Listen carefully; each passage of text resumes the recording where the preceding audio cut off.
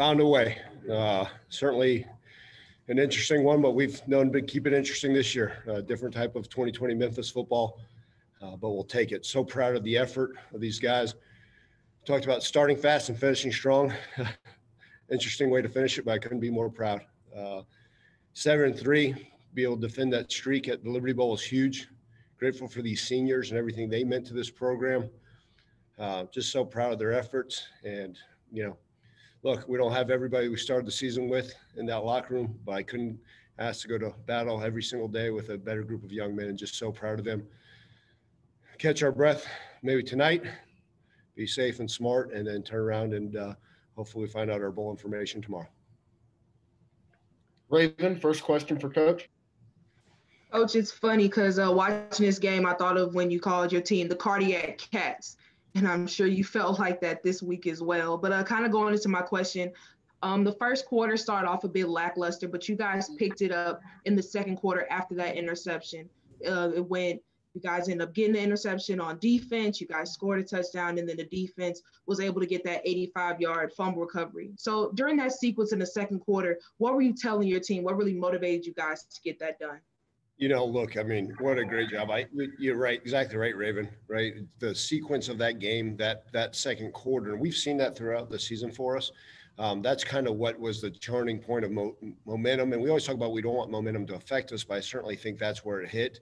Um, you know, I think our guys just keep digging and believing. Uh, our defense obviously had a great deal of belief in what we are able to do. Uh, credit to a great Houston offense, obviously what they were able to do in the second half, uh, especially in the fourth quarter. But um, you know, I think our defense just stood up and, and found a way, right? We talk about defending every blade of grass in that red zone, be able to get that fumble recovery uh, for that long touchdown run. If you think about that, that was Jalen Allen's first start. So, so proud of him. But uh, look, I think our guys just believe in each other. And I told them this morning at the team hotel that it's going to take all three phases. And sure as heck it did, right? I mean, obviously the defense played lights out.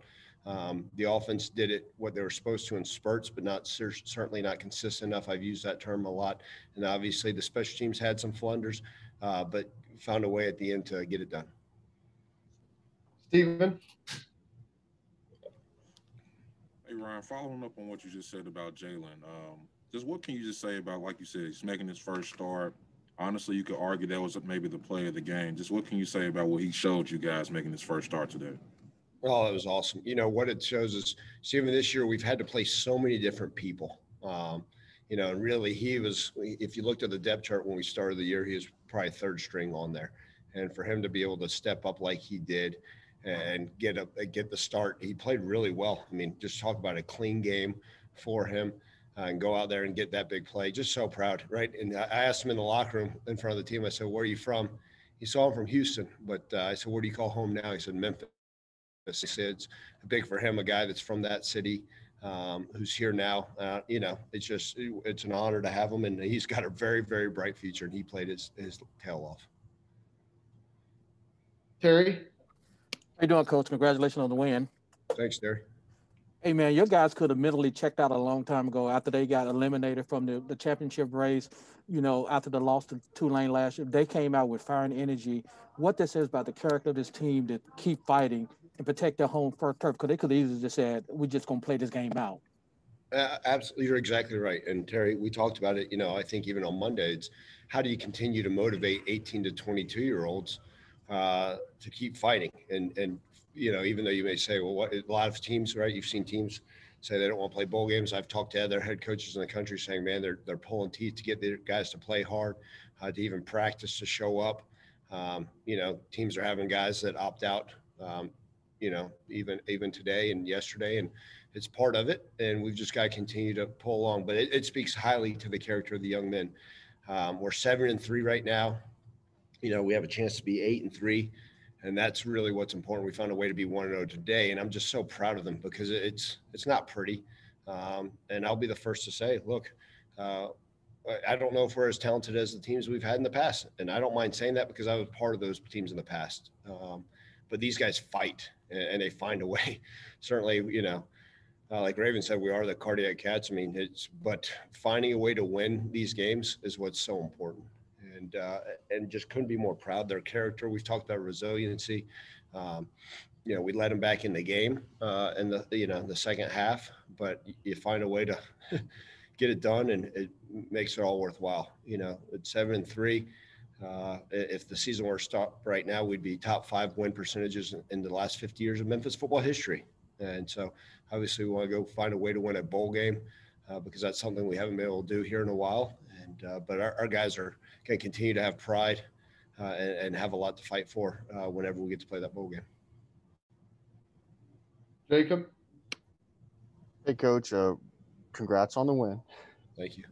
And um, Riley Patterson, you know, he he really helped you guys out. He made sure that you guys didn't have to go into overtime. Uh, what can you say about him and what he's done for you in this game and pretty much during your time? Yeah, you know, so first off, I my uh, our sports information department probably won't be happy with me, but I'll let you guys know he was selected to the Senior Bowl. So really proud. I was able to tell him. I don't know where that if news broke yet because I think there's some stuff um, but I was able to tell the team Friday afternoon when I got the FedEx package, and I think we are going to release it this week at some point, obviously. But uh, just so proud of him. Riley's a, a great young man. He's mature. He gets it. Um, he's a leader. Uh, he's one of those that you know you, a lot of people don't ever talk about their kicker, but he's been so much to this program, right? Being a four-year starter, uh, we have been known as Kicker U, and glad that he was able to do what he did today. Someone told me it was his first ever career walk off uh, game winning field goal, which is awesome. I love it. Um, you know, however form or fashion, but he he's a fantastic young man uh, who really glad that it was him lining up to kick that field goal. Evan. Brian, this first season obviously has been a lot of different things. Um, tomorrow's actually, I believe, the one year anniversary of when you were hired. So, what can you talk about just what this team has meant for you and just what you've learned over this season? Just, you know, not just learning on the job, but just really kind of making it through this season as a whole. Evan, you sure it's only been a year? It feels about 30 years. Um, got a lot more gray hair, and my heart stress test, I'm sure, is out the roof. But yeah, it's, uh, look, you guys know how much this job means to me and what it means to me to be a Memphis Tiger and be part of this uh, community. And uh,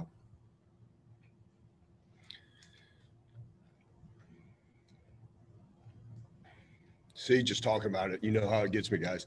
Um, that's how proud I am of these guys because um, it hadn't been pretty. You know, the Cotton Bowl, the way to start the career uh, here, obviously that was fun. Um, disappointed we lost that game but then be able you know face the adversity that we faced really these last you know seven months eight months uh, has been something else. And it's been a battle. You know you hear about the anguish the the, the heartbreak um, not only what everybody in this world's going through but you know you hear about it in college football programs how hard it's been how gut wrenching it's been. You know from thursday nights getting calls at 10 o'clock at night hearing that players may be out because of covid and then all of a sudden you got to change your roster. You're dealing with opt-outs uh, dealing with injuries but to be able to sit there in the locker room and celebrate with those guys, what a great win for their team, for our program, for the university. And uh, I'm just honored they let me be a part of this and be able to lead them in some form or fashion. And it's, it's meant the world. It's been a heck of a, a first year. Um, I've learned a ton. I've got to continue to improve as a head coach, as a person. And, um, but I know the future is very bright here at Memphis. And, and look, the work's not done yet for the 2020 football season, but uh, just so honored to be able to be the football coach here. Clayton. Hey, Coach. Uh, in in a similar vein with that, I know there hasn't been a lot of time to be reflective this year, um, but you know, to be here at Game 10 of the regular season to just finish it, um, you know, with with everything that's gone on to get to this point. I mean, can you just speak to that being an accomplishment in and of itself that you've gotten 10 games in? Yeah, absolutely. You know, Clayton, I've made no bones about it that the number one concern this whole year is the health and safety of our student athletes. And to be able to accomplish 10 games, be able to play a complete home schedule at the Liberty Bowl, it's huge, right? Credit to Laird Veatch, uh, President Rudd, all those people that helped keep this thing going, Daryl Turner, athletic training staff, um, for making this thing go. Um, but it is, it is an accomplishment. I mean, I'm not going to hide it. To be seven and three, to be able to play 10 games, uh, in a season where so many teams, right? You know, saw Arizona State finish up their season uh, one and two. They played three games this year, so we feel so fortunate to be able to line up there and do it. Uh, I believe our guys are constantly trying to do it the right way in order to play football, and uh, you know that that takes a lot because it's enough to play college football. It's enough for an 18 to 22 year old to line up every day to be a student athlete, uh, to be a student, and then to be put what the demands of college football relies on. Now you're talking about adding all the stuff that's occurred in this 2020 season. Um, a lot of guys could have waved that white flag, and these guys show up to work every single day.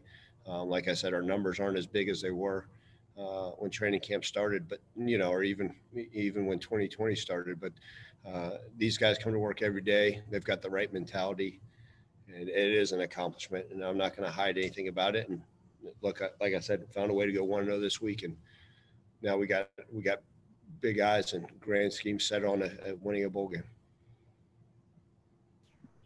We'll do two more. Terry? Hey, coach, I saw that uh, Sean went out early and you had to go deep into your tight end pool. Uh, any update on his injuries and anyone else who may have went out?